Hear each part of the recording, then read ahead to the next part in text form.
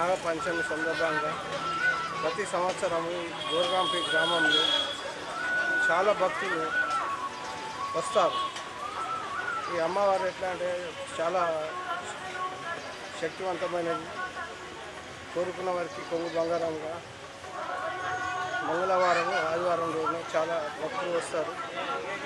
నాగపంచమి సందర్భంగా చాలా భక్తులు ఈ గోర్గాం గ్రామం ప్రజలే కాకుండా వేరే నిజామాబాద్ చుట్టుపక్కల వా- విలేజ్ వాళ్ళు కూడా చాలా భక్తులు వస్తారు. వారు ఇక్కడ ముడుపులు కడతారు.